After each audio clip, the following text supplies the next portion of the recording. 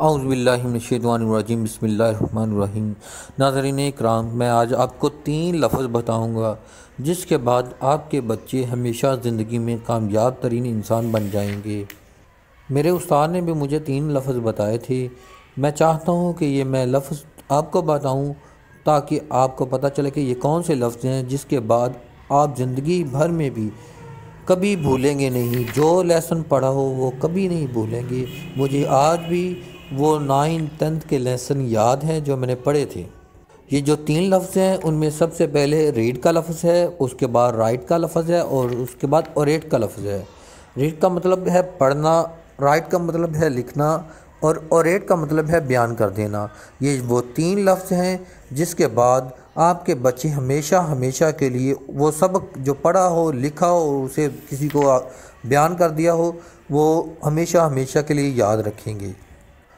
अगर ये तीन स्टेप अडॉप्ट किए जाएँ, सबसे पहले बच्चे को कहा जाए कि आप उसे पढ़ें लेसन को बार बार पढ़ें। उसके बाद उसको लिख लिया जाए और लिखने के बाद उसको किसी दूसरे के सामने बयान कर दिया जाए तो कभी भी नहीं बोलेगा अस्सलाम वालेकुम